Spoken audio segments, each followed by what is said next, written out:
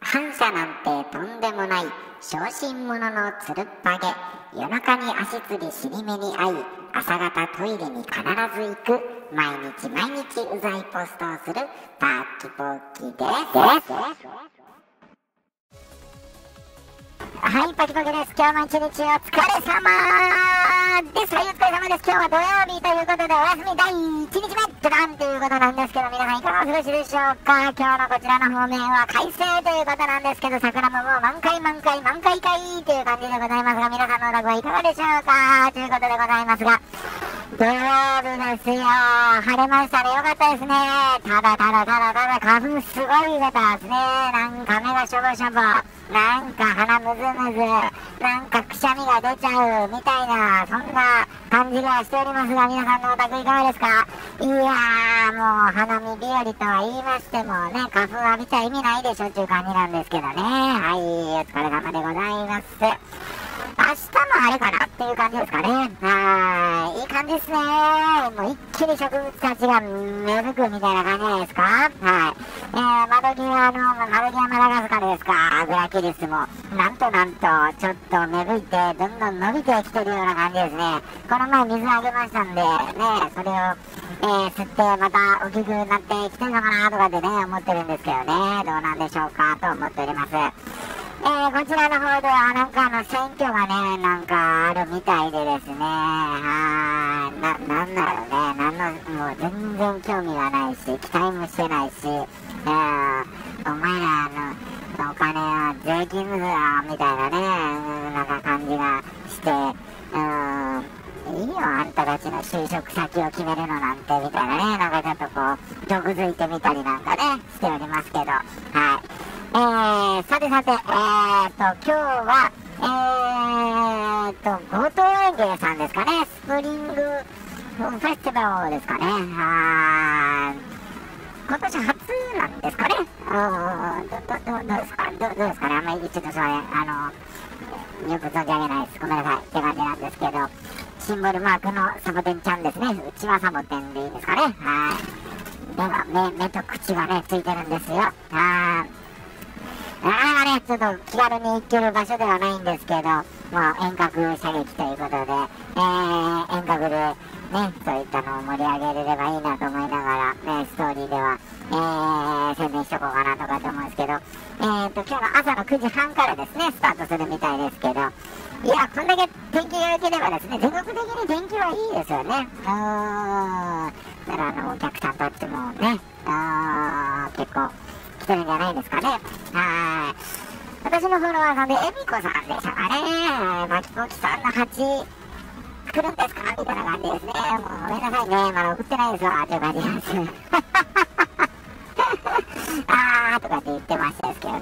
あー、あのー、マスターさんがね、やっぱちょっと私の中ではメインなので、あの人がイベントに参加しなかったら、ね、ちょっと意味がないんでですね、私の中ではですね。はい。だから、マスタさんが、えー、参加する時に、えー、送っときたいなというのが正直なところです。別にあの、売れる、売れないとか、そんな関係ないんでですね。うーん、あな、あなたの力になりたいというね、そんな感じで、えー、思っておりますで、けど、やっぱ今日も仕事してるんでしょうね。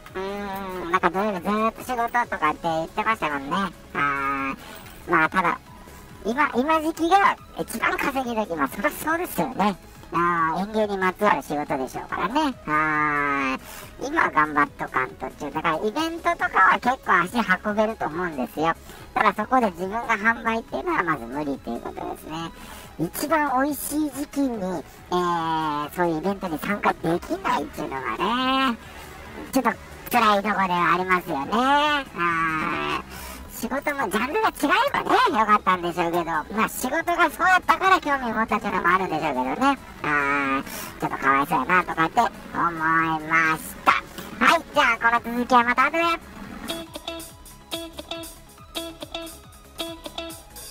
バキコキさんのブラキえはい、いや、竹巻さんの場合で続きですということで、えー、後藤園芸さん9時半からですね、えー、イベント始まるみたいですけど、えー、ここバナナさん、えー、パカクタスオブレインさんも来られるんですかね。パカさんは、なんか代わりにマスターさんの株を、えー、出品するみたいな感じの話をしてましたですけどね。はい。まあ、パカさんはね、もう自分の株集中して売るでしょうから。ミーヤン、ミーヤンのは、まあ、聞かれたら話しますよ、みたいな感じで。そんなスタンスでやりよるかどうか知りませんけど、ね。あそこで、マサさんの株を、ボコボコ販売してあげたら、あんたの株も上がるよ、みたいなね。あまあ、どうでしょうかって感じなんですけどね。えーっと、バンキシャの、バンキシャの吉野さんも、2000円カッコ仮で、えー、なんかするとかって言ってましたですかね。うん。ちょっとこう定着させるためにちょっとこう、ちょこちょこやろうかしてるみたいですね。うん。どうなんでしょう車とか何台ぐらい止めれるんでしょうね。園芸野郎製の会場の、えー、熊山英国庭園はですね、もう100台以上っていう感じで、ネットにも出てきましたけど、備前屋カッコ仮はですね、あのー、一般宅ではありますからですね。あいくら敷地が広いって言っても、どんなもんですか？よく止めれて10台 ?20 台ぐらい。20台も止めれてすごいよね、逆に。20台車止めたら、どこのスペースでやるんですかって感じですね。あなんかあのー、桜色した、えー、うどんですかね。はい、まあ、販売するとかって言われておりましたですね。あええー、感じですね。うん。なんか、イベントっていうのは、本当いいですよね。はい。ほんとそんな感じで思いますね。さあ、そうは言うてもですよ、4月の15、16日、ついについにもうどんどんどんどん、あのー、日にちが迫ってきております。はい。演芸アローゼドロン春の陣ということでですね、はい、始まっちゃいますよ。今年はこんな感じの天気やったら、ええ、ですね。1回ですね、第1回目の時は、2日目が降ったんですかね。うん。で、2日目雨が降って、あの、グラスハウスで、で雨降っても大丈夫なんですよ。はい。で、そこで、えー、吉野さんが、イントロクイズって言って、結構その時のプレゼントよかったよね、なんか。うん、見よったらですね。うん、なんか、えー、えー、植物だとか、まあ、蜂もやってたのかな。うん、やってましたけど。もう今やちょっと人が凄まじすぎて、多分そういうイベントなんかしたら、えー、や、イベントというか企画か、企画なんかしたら多分やばいんじゃないですかね。うん、なんかほんとそんな感じがね、するんですけど、はい、まあでも楽しみではありますよね。今年はもうこういった感じでコロナもですね、ある程度緩和されてきてますからね、規制がね。うん、コロナ自体はまだ全然でしょうけど、はい、あのー、結構イベント、動き出した、動き出すだ、動き出すと思うんです。はい。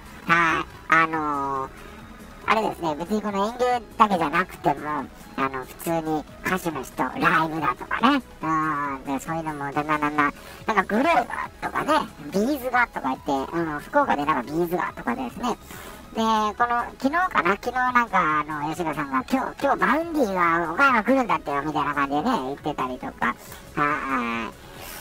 ぜひね、うん、行ってほしかったんですけど。遅いわ、情報がって感じだったんですかね。はい。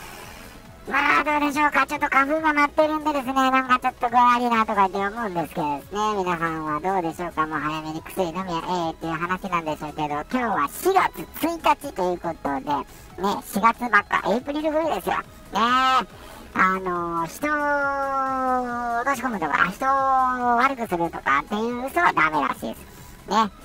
人をほっこりさせる嘘だとかですね。はい。人を楽しませる嘘だとかですね。そういったの、えー、ついていい日だそうです。はい。何年か前はね、結構あのー、メーカーさんですね。車のメーカーだとか、なんとかメーカーとかは、あのー、フェイクニュースを出してたんですよね。あのースバルやったかな。なんか新、新車、新車発売ですとかって言って、なんか、とんでもない、こう、未来カーみたいなの作って、へえ、すごいね、スバルとか思ったら、ウェイプリフーじゃないかいとかって思って、あ、ほんとこれ出たらいいよね、とかってね、思ったりしてたんですけど、なんかこう、遊び心があってね、えー、よかったと思うんですけど、さあ、今年はどんな、えー、バズる企業が出てくるのか、ちょっと、楽しみではあるんですけど、上がってくるかな、そういうのね。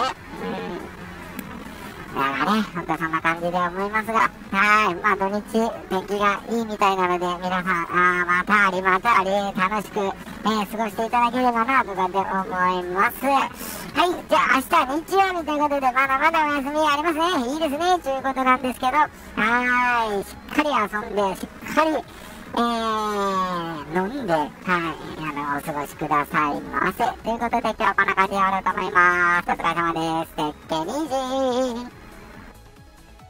夜になって思い出した呪い背負った僕たちは今なんて悲しみが積もった時も朝になって思い返した希望まとった僕たちは今唯一無二の弱者強気でいいじゃん忘れることで何がれついた何よりも本当に大切なこと離れるたびに何がれついた何よりも本当のことに僕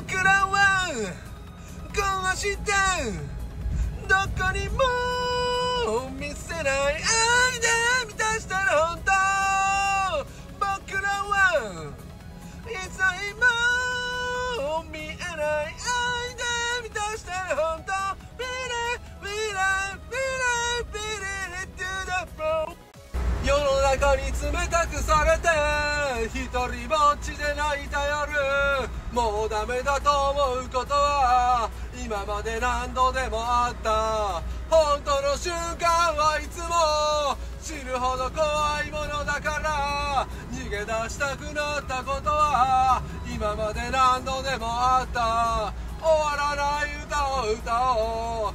クソったれの世界のため終わらない歌を歌おう。全てのクズどものために終わらない歌を歌おう。僕や君や彼らのため終わらない歌を歌おう。明日には笑えるように。